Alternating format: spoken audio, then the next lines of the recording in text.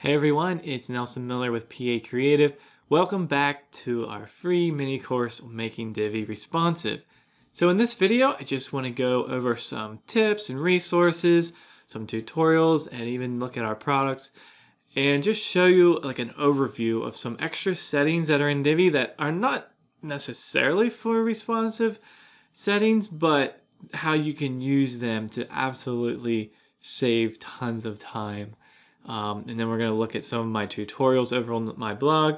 Um, a lot of those have CSS in them. Um, and then we'll, we'll, look at the ones that are specific, obviously, for, um, you know, making Divi responsive. And then we're going to take a quick look at our plugin as well. Let's get started and show you all of this good stuff.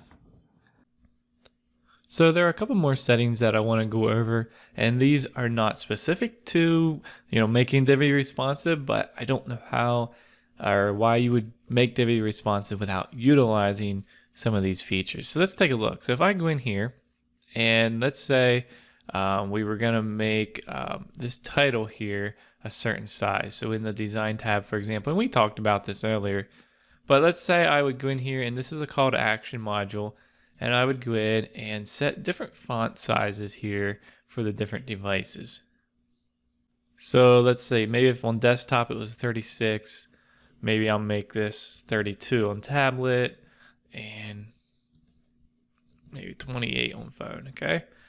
So I could go through to every single call to action or I could right click on here and you'll see, or you could, you know, hit this little the three dots here.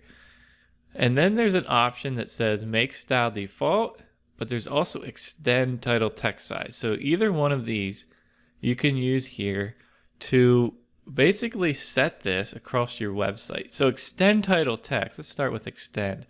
You could click on that and it's gonna say, I want this to extend to, and then you say, well, all call to action modules. You could say all modules.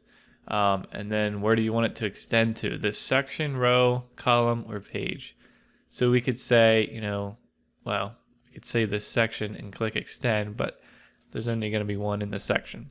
The other option, which is when you want to set it default across your website, is make style default. So it's going to ask you to confirm this because it says this will affect all the title text size options of call to action modules across your entire site. So in other words, it's it's not just affecting this section or this page, but the entire site. So I like to do that for all my font sizes especially.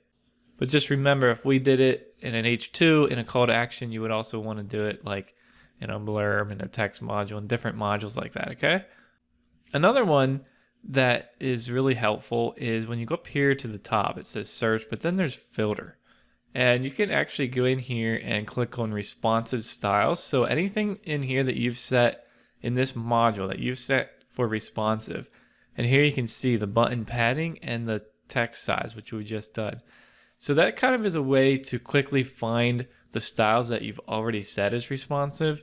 Um, that's really helpful. Like if you're just, if you're modifying your site, you're in the process of making it responsive and you're, you're like, oh, let's go down through and find them all and just click on filter responsive styles and then you can adjust them and these are these are handy for other things as well these filters here you know the ones that are modified hover styles and different things like that um, but i just wanted to point these out because i think they're really important um, if you're making your site responsive and you want to save yourself some time definitely utilize this um, you know for example the, like i said the text size but there's other things um, you know, even a lot of stuff has to do with text that I would use, like the font, obviously, and um, you know the color of the font and things like that. Even line height, a lot of that type of stuff. I just set it, and then, like I said, you know, you you go in here and extend it or make it default, and that's gonna simplify your life a lot.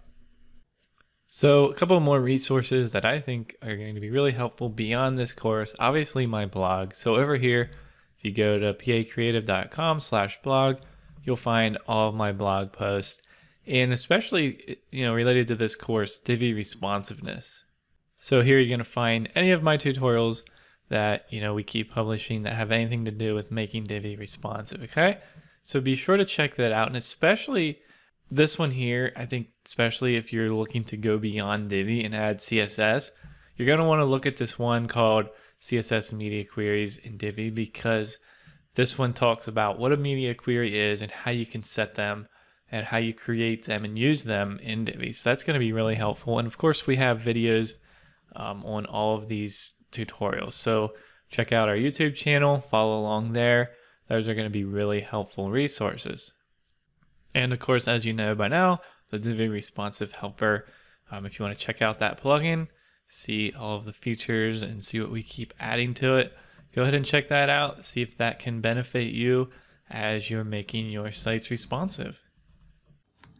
All right, so that concludes this video and this course. So I really hope that something here was helpful to you.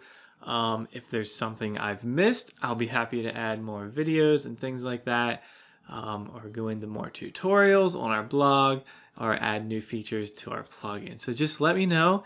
Um, I'm eager to help. I'm excited that I can contribute like this, and I'm excited for all of the feedback that I'm getting um, for our blog and our tutorials and things like that, our products.